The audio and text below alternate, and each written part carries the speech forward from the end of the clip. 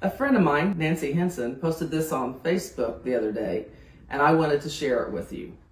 When writing a letter, I like to keep the content of the letter to one page on the front of the paper. I will often begin writing the letter with standard margins, one inch left, right, top, and bottom. This standard approach to term papers and letters is regularly sufficient to encapsulate the fullness of the letter.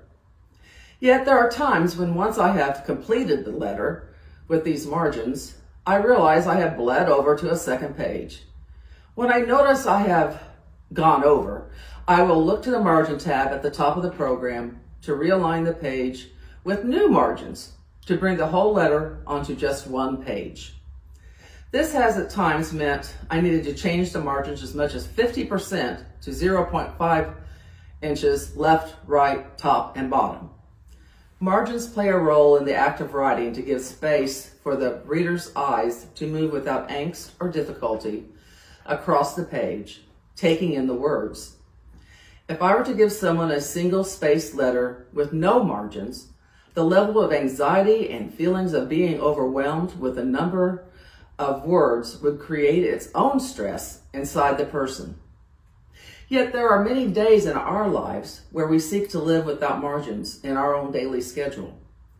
God has given us a set number of hours each day, our blank sheet of paper, and we tend to pack that page with our daily tasks and experiences without any margins. I can do more, see more, or say more. I see a blank space still on the paper.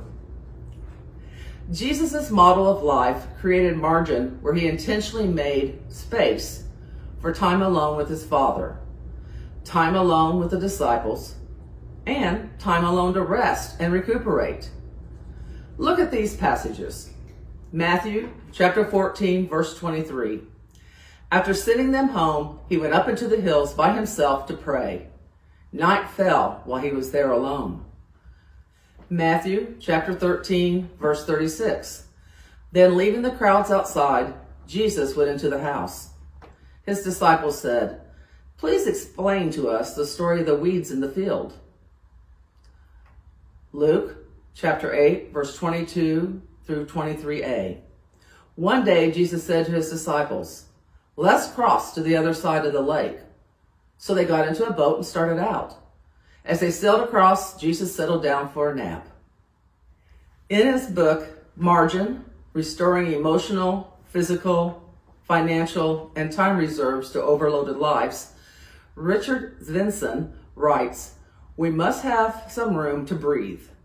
We need freedom to think and permission to heal. Our relationships are being starved to death by velocity. No one has the time to listen, let alone love.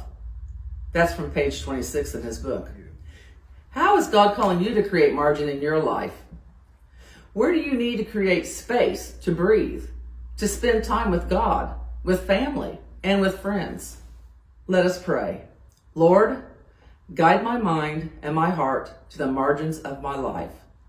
I am trying to fit too much into each day and need the margin and boundary to say, no to fitting more stuff into my life.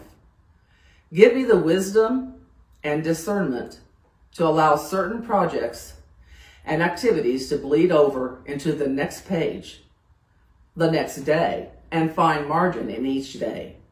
In Jesus' name I pray, amen.